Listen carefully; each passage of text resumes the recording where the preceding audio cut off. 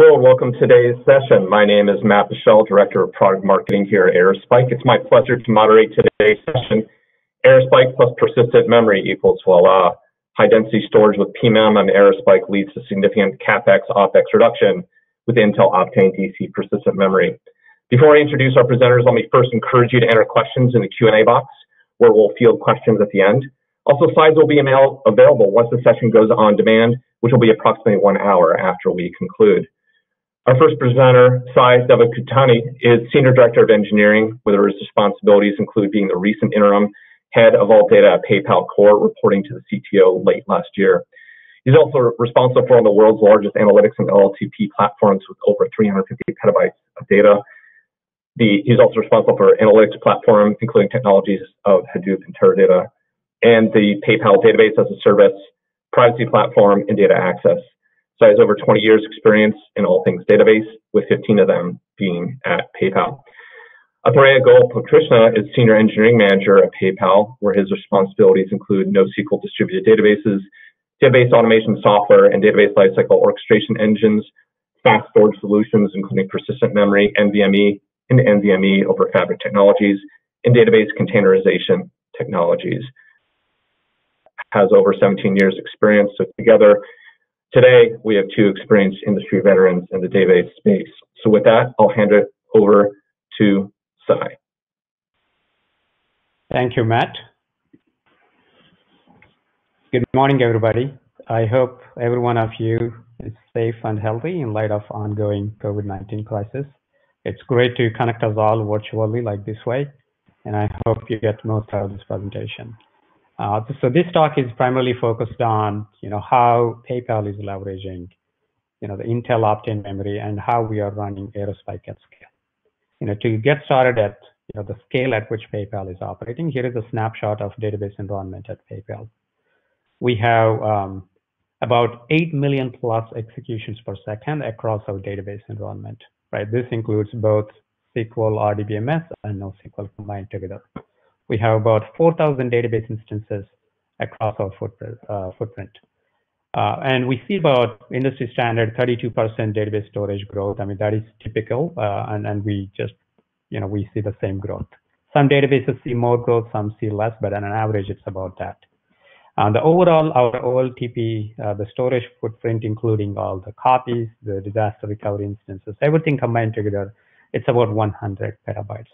And so uh, the challenges that we see with in general with this you know, is like you know uh, do we keep our service uh, the reliability becomes uh, then extremely important uh, the quality that we look forward to. Performance is another thing you know as our data is growing how do we keep the performance same while while the systems are scaling and the data is growing at the, at 32% year over year right? So moving on to the next slide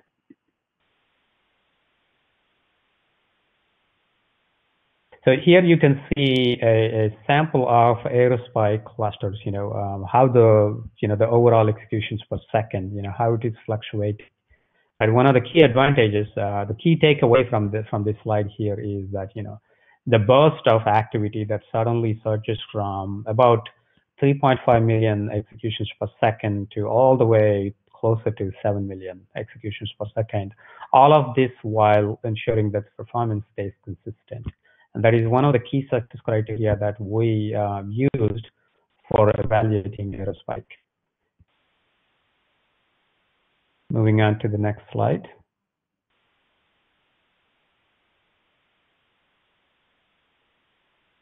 So I also want to focus on why Aerospike at PayPal. Everybody see the slide?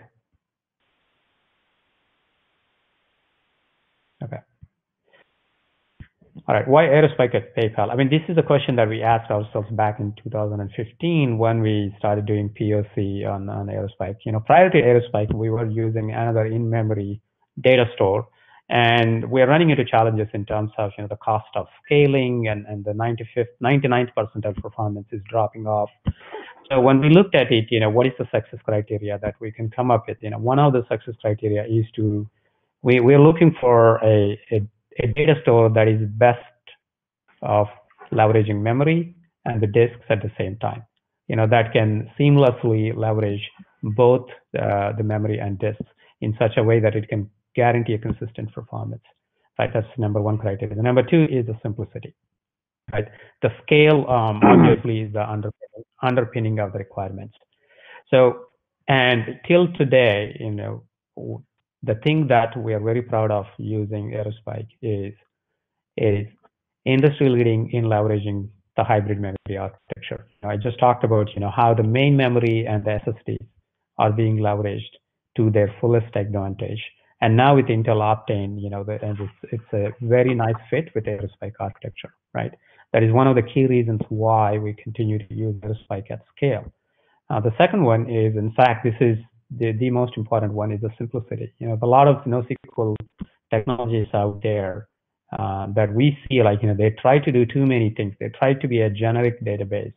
And, and we see that, you know, um, you know, the, you know, things start to, you know, not work as well as we would like at scale and keeping the consistent performance. You know, the simplicity ensures that, you know, you stay focused on the, on the mission. You know, that's again, key advantage. And the performance, we talked about it. You know, Aerospike is one of the few databases where the vendors themselves said like, you know, hey, you know, they're pushing the limits of how much throughput you can get out of the SSD, how many IOPS that you can push out of SSD, right? And that includes the NVMe. So, and the last one is the storage density, right?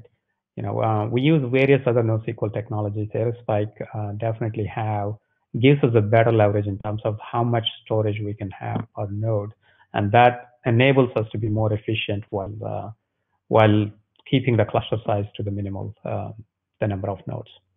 So with that, I will hand it over to Athreya. He's going to go deep into how we are leveraging the hybrid memory architecture.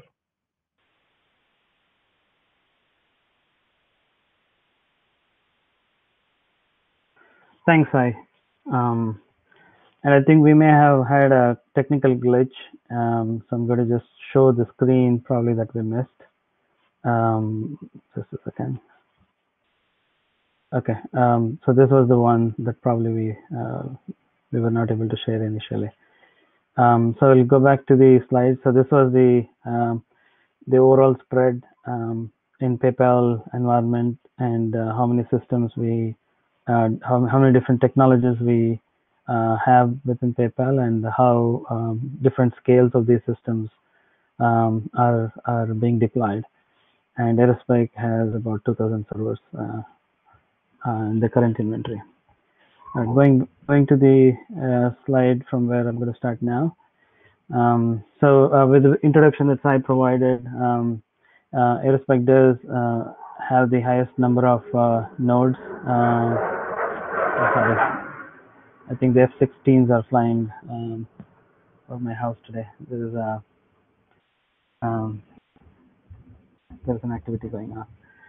All right. Um, so coming back, uh, so we're showing showing here the evolution since 2010 uh, to 2015, how the storage densities evolved and what were uh, the technologies behind it. Uh, so most NoSQL databases were all in memory uh, for speed. Uh, so we leveraged databases which were designed uh, to be in memory, uh, which were fast. but as we started looking at the future, it was pretty evident that we will not be able to sustain it.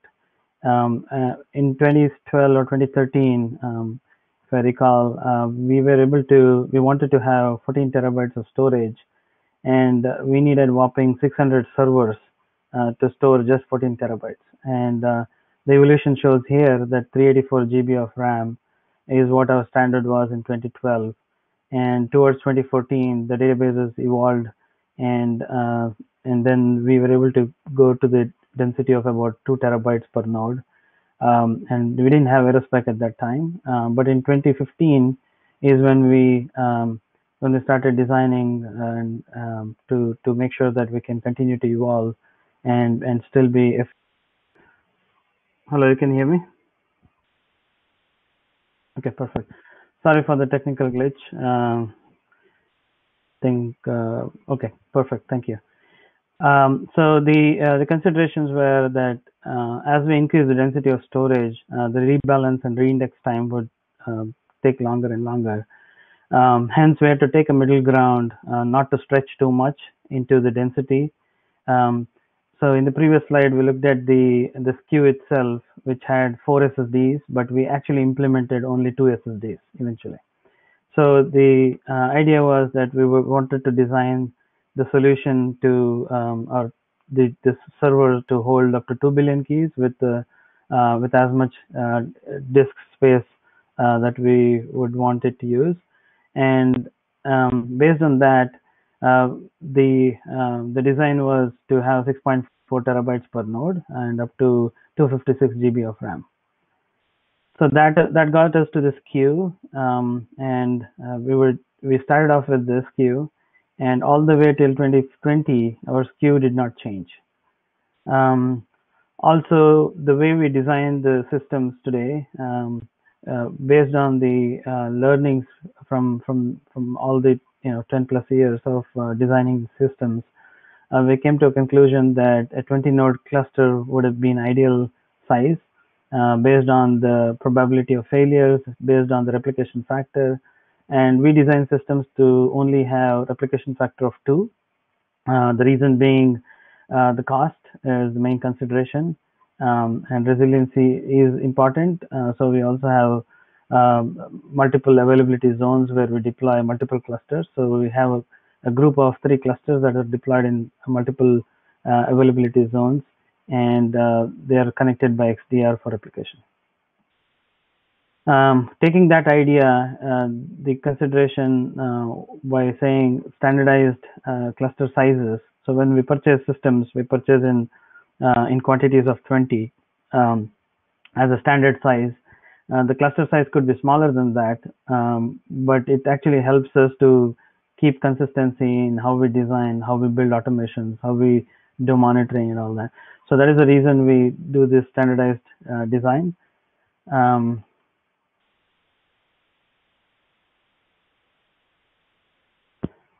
okay. Um, then, so uh, the experience in 2015 was um, uh, prior to that, it was more like uh, putting together a tortilla um, by designing, um, you know, whatever the ingredients that were required. But then uh, the next thing was to uh, once we put together Aerospike, it was a, a fluffy, fluffy um, cheese pizza, uh, though it was a personal uh, size. And um, then around the same time, uh, there was a announcement from a joint uh, announcement from Intel and Micron um, about persistent memory 3D XPoint.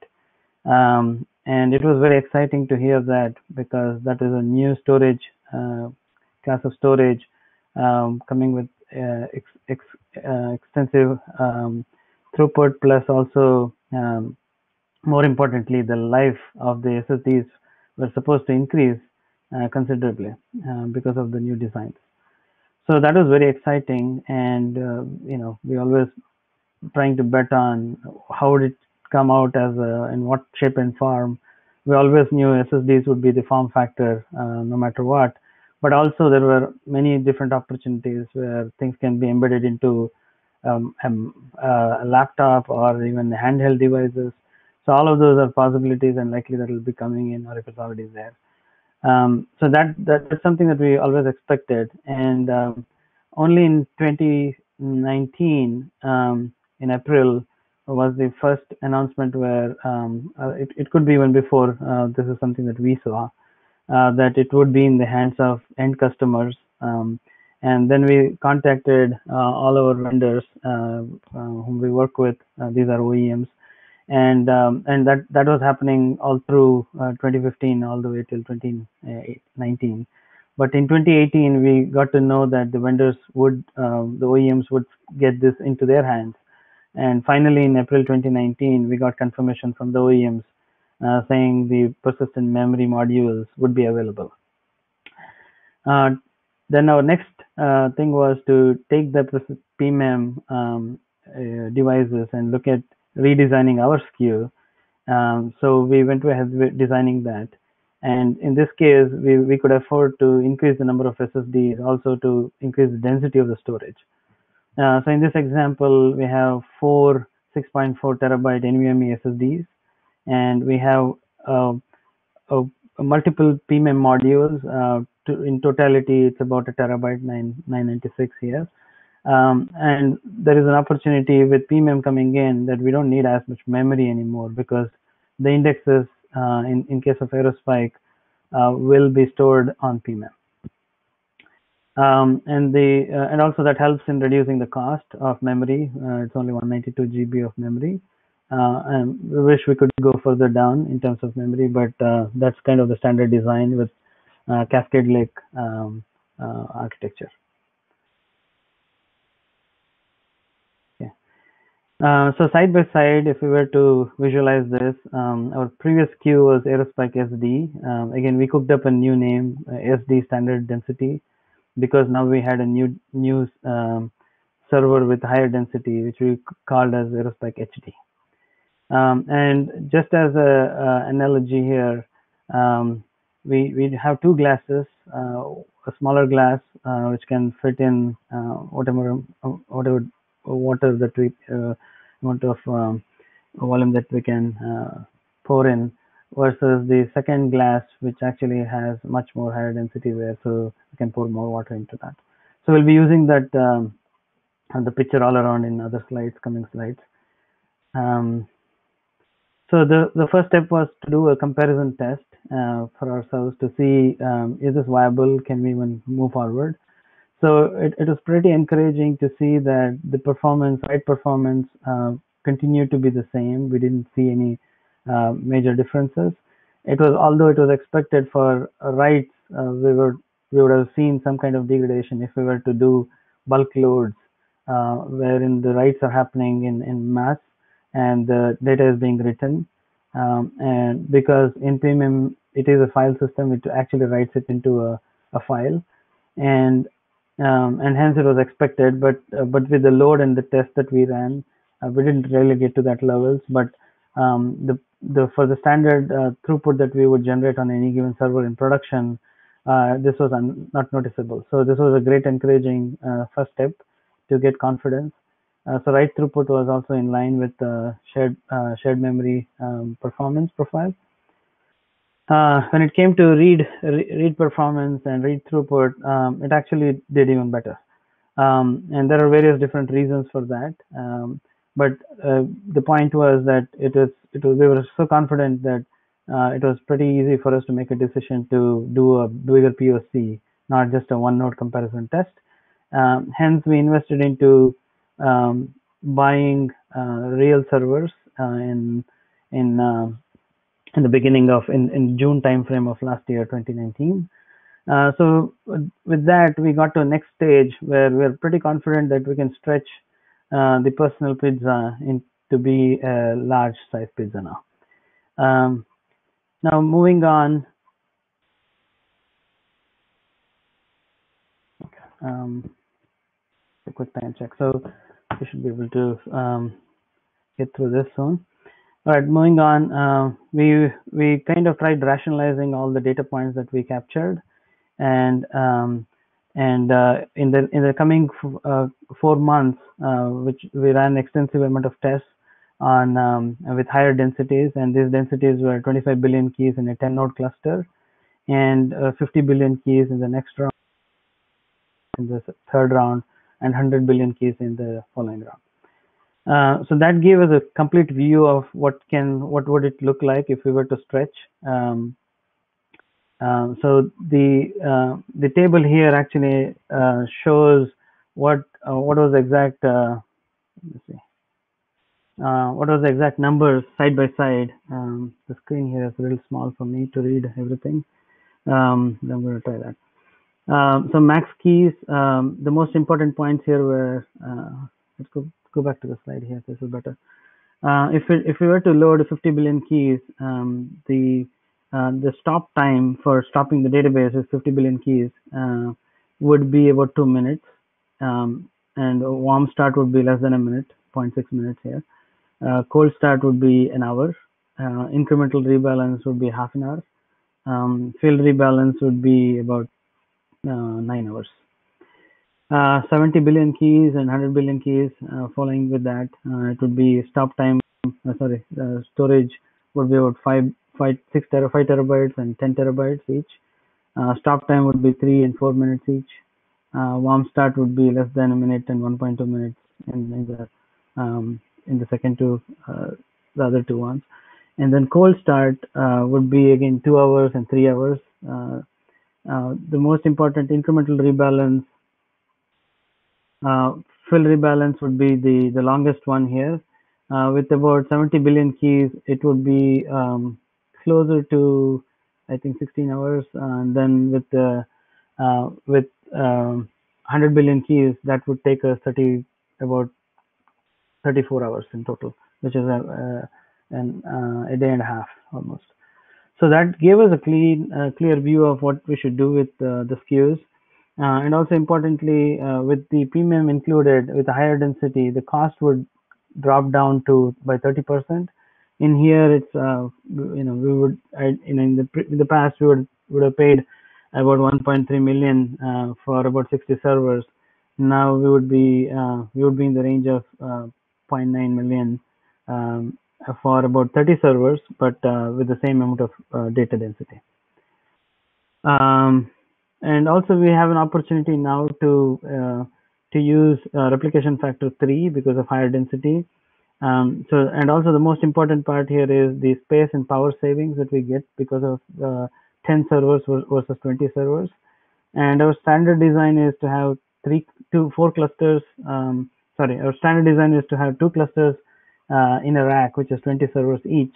Now with 10 server um, cluster we could host up to four um, clusters within a rack. Um, okay, I forgot to mention this. Uh, the rolling upgrade and rolling software upgrade also had uh, significant improvisations that we could gain from here. Uh, it would take us uh, more than 10 hours to do a software rolling upgrade on a given cluster. Now it would be less than uh, five hours. Uh, with the OS OS upgrade, um, we would be in the range of six hours instead of 10 plus hours. Um, and also, if you broadly look at the strategy, uh, we would be uh, able to host um, the same systems for an online um, uh, online traffic. Which, when we say online, it is live traffic with very uh, stringent SLA for uh, detection of problems and recovery of the system. So we have very short SLAs. So in such in, in such cases, we would be still hosting 2x density of data on the on this type of SKUs versus if you go offline, which means there is no um, there is no such uh, stringent requirements for uh, detection and recovery, uh, we can host much more higher density. So the consideration was we would we would use different strategies for different environments, and hence uh, we should be able to manage um, the cost. And uh, if you if you can take more risk, then we can reduce the cost considerably. So the cost reduction could be you know 60 60 percent or 50 plus percent at least uh, if we go with the 3x or 4x density. And if we can even give up the replication factor from 3 to 2, uh, it's even better. So the um, in all of this, uh, the important fact is that we have a lot of levers that we can um, we can work with. Uh, we can we can adjust our requirements and uh, and also we have concepts like tiering of the databases, which means if it tier one would mean uh, uh, very um, uh, very strict SLA and high performance and all kinds of things attached. versus tier two and tier three could be of um, lower expectations, so we could leverage the higher densities there even more and and and in the analytics space um, there is always the growth of data because it's all human driven uh, the data we produce is what we consume as well um, so for that reason, we also need massive systems. Um, so it's it's, uh, uh, it's it's fantastic that we have these options in hand now that we can uh, move forward and implement uh, uh, large scale systems as well. It's when it's required. Okay, um, now as we transition transition from uh, Aerospike SD SKU to Aerospike high density SKU, uh, that also means um, uh, you know, if we were to host 21 billion keys uh, RAD is one of our use case name, um, then we can actually host the same amount or even more uh, within a 10 node cluster, even ha after having replication factor 3. Uh, with rep replication factor 2, uh, it becomes even more attractive, which means we can host up to 40 billion keys within the same cluster. Uh, and the most important one, uh, which is a bigger gain, which I mentioned in the previous uh, slide as well, is um, the time taken for, for running a maintenance. And OS patching is, is an ongoing activity um, uh, and also DB software upgrade that we do pretty frequently. We have done at least um, upgrades um, maybe up to 18 or 19 times so far, uh, starting from 3.7 version of Aerospike to um, 4.5, which is the latest, and we are uh, getting to 4.8 very soon. Um, and and and this has helped us tremendously in our operational uh, um, uh, improvements and efficiency is what we've gained from all of this. Um, now we can confidently tell uh, with um, with quiesce feature in place, uh, with uh, delay fill migration in place, uh, and with PMEM in place, all of this put together as a package is an amazing experience now that we can do a lot of maintenance without needing to worry about um, system outage or or, um, or impact to our availability to the business. So where we stand today uh, with our inventory, uh, we have about 2,000 servers in total for just Aerospike. Uh, you know, 60 plus racks on which they are hosted, 106 plus clusters, um, and more coming, um, and 200 Aerospike high density servers that we recently have purchased and about 1800 servers which were from the past uh, from the standard density. Uh, that's in totality. And uh, our current standard storage density is 24 terabytes per node. Um, and and uh, when we look back um, which is 6.4 terabytes in 2015 that was the highest density amongst all the NoSQL databases that we host today, um, which which was always already a kind of a proud moment for us to say we are pretty efficient in storing data on the on Aerospike. Um, but now with uh, even higher density, um, the, it, it only uh, adds up to the the pride that it was, that was already there. Um, and and more importantly, the te technological advancements um, are actually helping in reducing the cost and keeping um, the the um, the economics in into uh, in, in these equations to to help us to continue to move the business forward. Um, and the more efficiencies we gain, the better we can give it back to our customers. And uh, one other last thing that I wanted to highlight here is um, we actually are uh, did choose a lower density uh, in the slide if I show 2015 6.4 terabytes. The reason being, uh, as I mentioned, if we were not to do that, if we did go with higher density at that point, we probably would have had several operational issues. We could not have done uh, 18 to 19 rounds of upgrades that we went through uh, including OS patching or including uh, DB software upgrades. Um, and with, with persistent memory coming into picture, uh, we, we can now confidently say we can go further higher density. So that's the um, takeaway here that um, the technological advance, advancements are getting us to be more operationally mature uh, while also reducing the cost. Okay, so the whole journey looked like this. Uh, we started off with uh, preparing a uh, tortilla and then uh, quickly um, migrating into um, a personal pizza size and then improvising it further to a large size pizza and finally applying all the toppings on it to make a gourmet pizza out of this. So um, that is the reason we uh, chose to have our title as uh, Aerospike plus uh, persistent memory, um, the total equation um, with which they come with, uh, uh, with the advantages um, makes us feel to say, voila, this was an amazing uh, recipe uh, together. And, uh, and hats off to everyone who is involved in making these things happen. Thank you. Um, and stay safe. Uh, we'll take some questions from here. Okay, great. Uh, yeah, this is Matt again. Um, so again, everyone, feel free to uh, log your questions into the Q&A box. Um, I think there were some earlier questions that you may have uh, answered. Uh, if you wouldn't mind, Sai and or Threya, if you could just go over again how many Aerospike nodes and clusters uh, are you guys operating currently?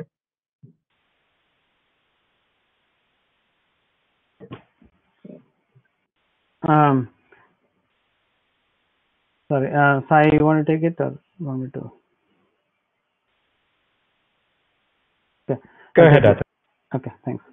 Um, yeah, so we have 2000 servers today that we host uh, Aerospike on. Uh, they're distributed in multiple data centers and uh, different availability zones within the data center.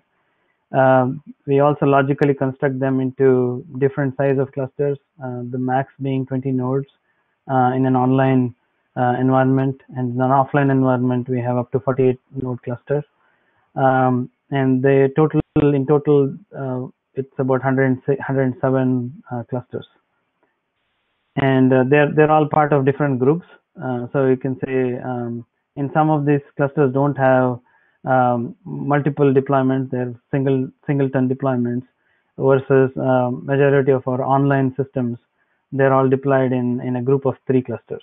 So uh, when I say cluster, these are independent clusters, but they, they could be grouped together into a cluster group by means of XDR. Got it, got it. And I, are they uh, deploying different applications? You mentioned an RA, DD, uh, internal, I guess is the code name of the application. Are they all are they all operating different applications? Yeah, so they, they, we do have uh, varieties of different applications, uh, all in the fraud space and um, and and beyond fraud space. There are many others as well, uh, which are smaller in nature. Um, uh, but broadly, if we were to categorize them, um, they they they are key value uh, solutions, and broadly the feature um, uh, fraud analytics that requires um, tiny key values to make comparisons on um, what does this profile of this user look like. Uh, could be one of those examples. Other examples are we do have variables that we create uh, that that actually keeps account of um, uh, the occurrences of events that we recognize could be fraudulent or not um, so those type of counters are also kept in the system uh, there is also improvised solutions like uh, graph that we build and maintain um, uh, in, inside of Aerospike uh, as key values and then there are solutions built on top of it uh, that um, that could glue them together to make it as a graph. Uh, so we do have graph use cases extensively deployed as well. Very good, very good. Um, um, one attendee uh, indicated or is requesting, uh, why does PayPal get better density with PMEM versus without it? Sure. Um, the reason is um, we we could. Uh, I'm not sure if I can probably go back to the screen here. Um, we we could have in 2015 when we were sharing the story and the journey, uh, we could have actually um, deployed at 12 terabytes or even more per node. Um, but that also meant higher uh, the longer time for reindexing and rebalancing and, and that is something that we didn't want uh, ourselves to be exposed because we always wanted to store two copies within a cluster uh, for for cost benefits. Uh, that means we only have redundancy of one node. So if we were to take a node out, and if a rebalance starts, and if that rebalance goes for um, let's say 20 hours with uh, with a 12 terabyte density storage, um, and at back then there was no fill uh, uh, fill rebalance or delay fill rebalance configuration available either in Aerospike. Um, it was um, we were not confident that um, we can sustain that because if if during that process if a second node uh, is lost then it's it's a uh, it's a scenario of data uh, data loss as well not a permanent loss but it's unavailable during the time so that was uh, the danger that we would have run with so we kept the no uh, the density low the rebalances uh, as fast as possible. And another Mhm. important point is uh, if we were to uh, do an OS patching on the system with high density, uh, on top of rebalance, there is also reindexing time that gets added up. And uh, with the, with um, with a larger density, uh, our, our tests already showed us that if we were to, you know, if we were to have a 512 GB of RAM and uh, 12 terabytes of SSD and fill it up with as many indexes as we can, uh, that would take us to probably around six or eight billion keys per node. Uh, but if we did that, um, then the time for reindexing would be two hours or three hours on top of rebalance. So imagine rebalance taking 15, 16 hours, and then on top of that, we spend another four hours. So that would be very long. And we, in the meanwhile, the next node, if it goes out, and if we lose data or if we miss the data, uh, that's going to be a serious problem. So hence, it was a conscious decision to go with lower density. Yeah, make make yourself faster, uh, minimize that window. Uh, we had a couple questions regarding warm restarts, um, and we may go a little bit over time. Um, do we? What are? Did you see any data issues with warm restarts using PMEM? Uh, did we? Uh, sorry, I wanted to um, ask the question again. So did we see uh, what issues with the warm restart? Yeah. Data issues.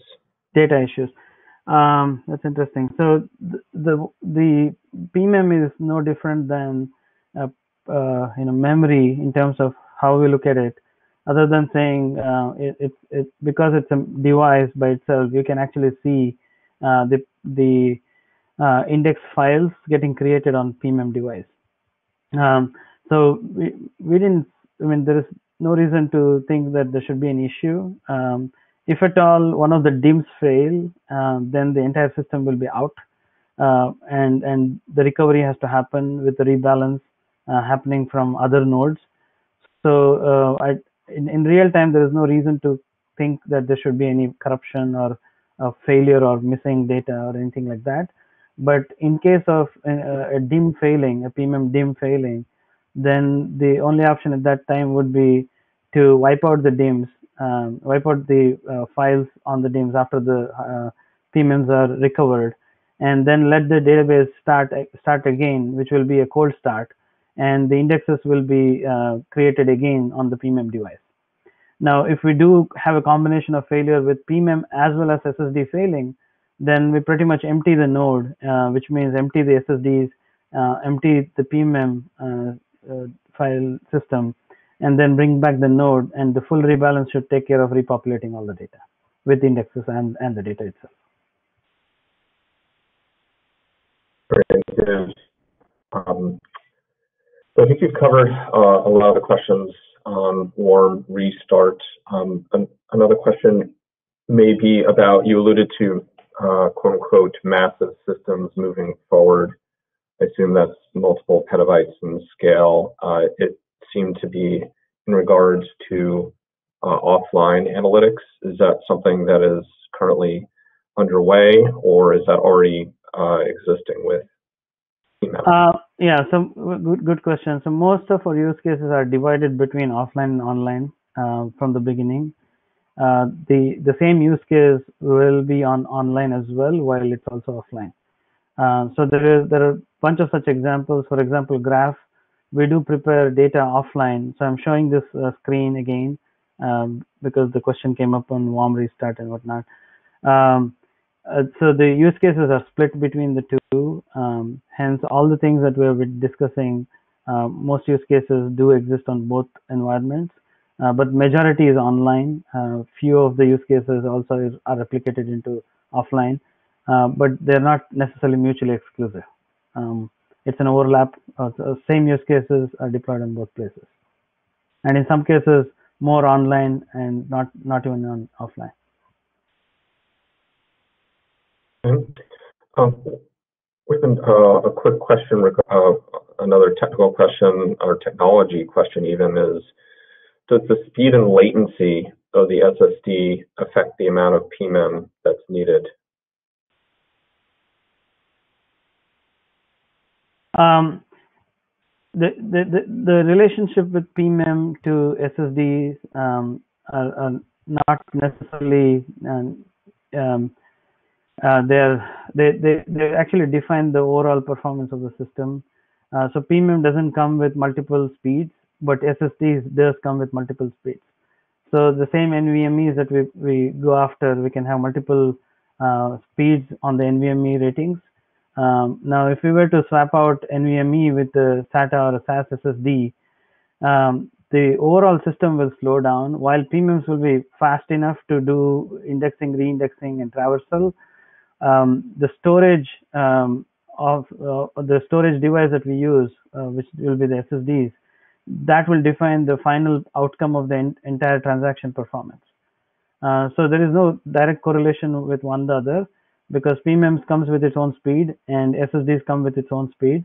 Now, if, if both of these systems are, um, and let's say PMEM, you, you won't have an option to change the speeds because it's a, it's a mem, you know, it's a device uh, that we can purchase. I don't know if there are different variations in the um, uh, in the frequency uh, that is available. Uh, I haven't seen that, uh, but imagine keep that as static, and you know if you work with SSD speeds, then the overall performance of the system will be more dictated by the SSDs and not necessarily the PMEM. Um, so I hope I answered that question. Okay. Um, there's a follow-up question clarifying the offline storage um, uh, question just before. Uh, it seemed that you, the quote unquote, the question reads, it seemed you're using Aerospike cluster as offline storage too. Is that true? Um, I'm not sure if I understood the question well. Um, I, would, I would rather probably ask uh, uh, if I understood uh, well. So when we say offline storage, I'm not sure uh, what that meant.